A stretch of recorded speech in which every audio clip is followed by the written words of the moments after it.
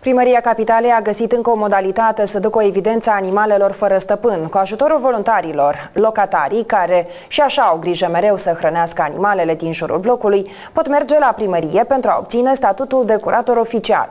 Este o muncă de voluntariat care presupune evidența animalelor, grija față de sănătatea lor și apărarea patrupezilor de vecinii nemulțumiți și de oamenii cruzi.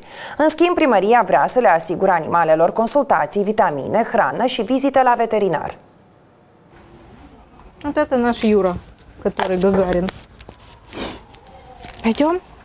Пойдем мы тебя снимем. Пойдем.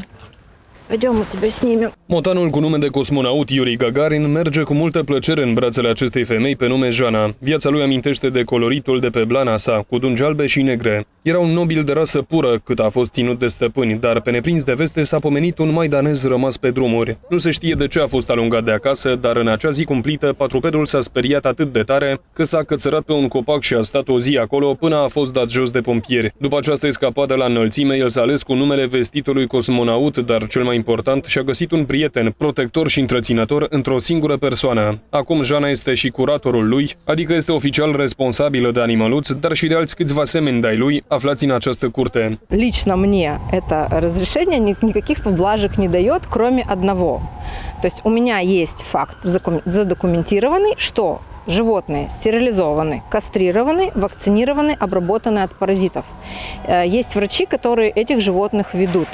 Э, есть мои обязательства, да, что я здесь убираю, соответственно, мои животные имеют право здесь находиться. Femeia are de furcă zilnic cu răutatea și agresivitatea unor vecini. Spune că suntem un popor foarte răutăcios. Всегда почему-то идет подмена понятий. У нас значит, начинается ситуация, что а лучше помогали детям, а лучше помогали людям. Многие против того, чтобы кормили даже кошек, потому что были какие-то да, проблемные ситуации изначально. După ce a depus cererea la primărie și a primit statutul de tutore, Jana va putea cere ajutor pentru animalele luate în grija sa, să le ducă la vaccinare sau sterilizare, să le arate medicului veterinar, să le dea vitamine și chiar să poată obține alimente. Anul acesta un milion de lei a fost alocat din bugetul municipal pentru necesitățile serviciului de protecție a animalelor. Рассматривается, чтобы они все имели возможность бесплатной вакцинации от бешенства.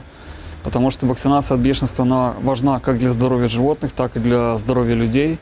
И чтобы кураторы не тратились э, на, на это свои личные деньги, потому что э, вакцинировать на самом деле должно государство животных от бешенства, мы планируем это делать.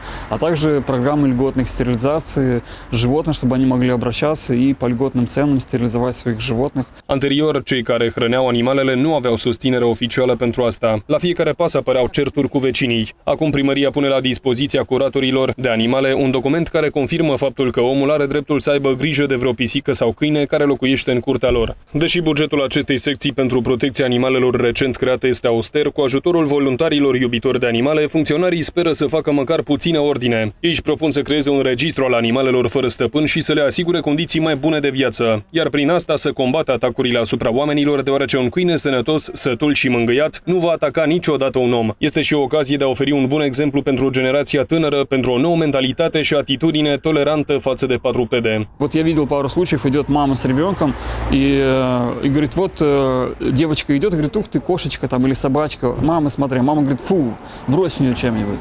То есть мы должны уходить от этого, то есть мы должны воспитывать гуманность и хорошие отношения.